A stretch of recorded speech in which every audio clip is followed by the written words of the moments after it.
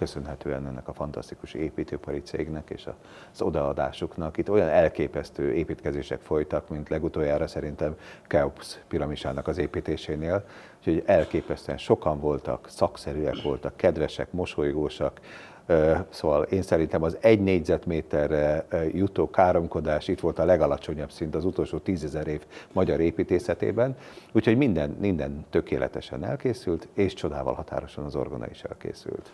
Az orgona művészet nagy szerencséjére most egy egyébként szomorú történelmi folyamat a segítségünkre sietett, mert Németországban, Hollandiában, Franciaországban rengeteg templomot bezárnak, és rengeteg sípos orgona felszabadul.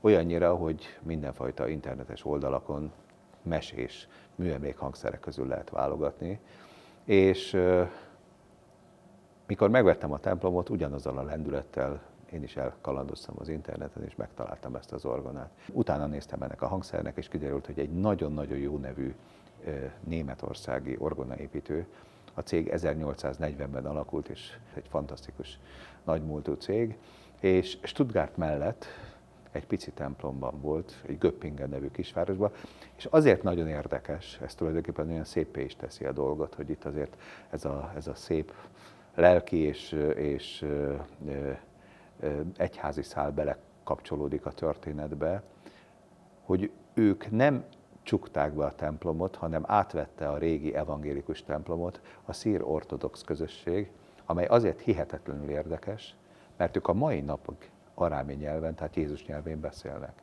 És megvásároltam tőlük, és ráadásul még egyéb szimbólumok is vannak a dologban, mert ugye azért ez volt a klasszikus evangélikus templom a mezőlaknak egykor, úgyhogy most a javatásra itt lesz velünk Gáncs Péter barátom, aki a Magyarországi Evangélikus Egyháznak a nyugalmazott elnökpüspöke, és még ezen felül is lesz további összefonódás, ugyanis az ő édesapukája Gáncs Aladár lelkész és bakkutató volt, és nekem ő volt az egyik gyerekkori mentorom. Tehát én Gáncs Péter édesapjának jócskán köszönhetem, hogy ilyen szoros viszonyban vagyok Bakkal, és ami még különösebb, hogy a az ő családjuknak a nappaliában hosszú esztendőkig, vagy 80 évig világított egy csillár. És ezt a csillárt megkaptam, és ez fogja világítani a termet többek között. Az elmúlt fél évben Varnus Szavér nagyon sok időt töltött mezőlakon. Úgy érzi, a közös munka kölcsönösen hasznos a falunak is, és neki is. Hihetetlen sok segítséget, szeretetet kaptunk a falutól.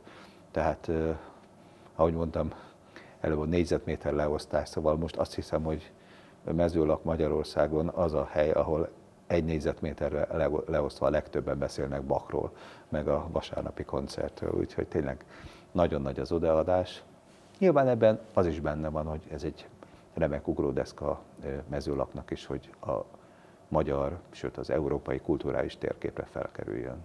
Mert nyilván lejátszom hangversenyt, az körülbelül három perc múlva fönt lesz a 35 millió nézettségű YouTube csatornámon, tehát nyilván egy pillanat alatt bekapcsolódik majd a zenei közvéleménybe.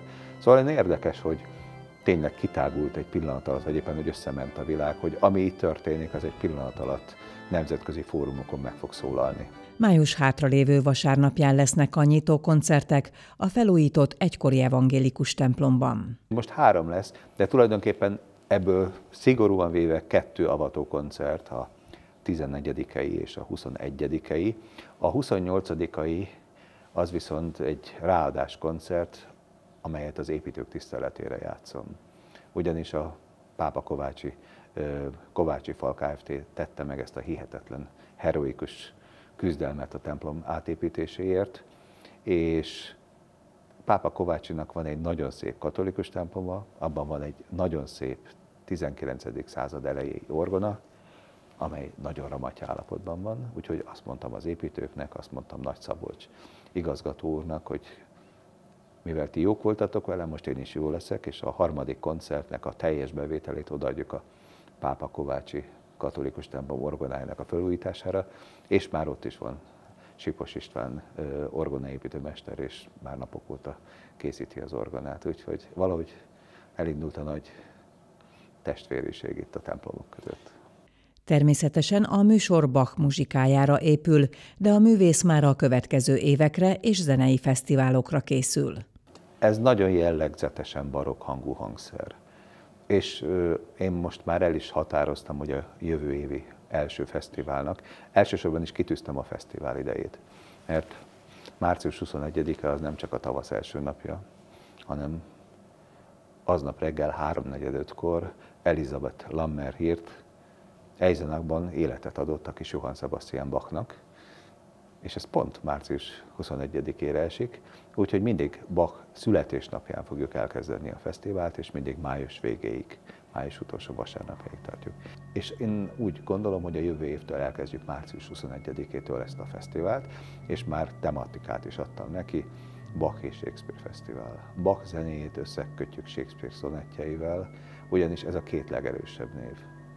Tehát van egy olyan régi teológiai elképzelésem, hogy amióta ember él a Földön, azóta Isten háromszor szólalt meg ember szája vagy cselekedete által. Az első az Jézus Krisztus volt, a második ez William Shakespeare, és a harmadik Bach.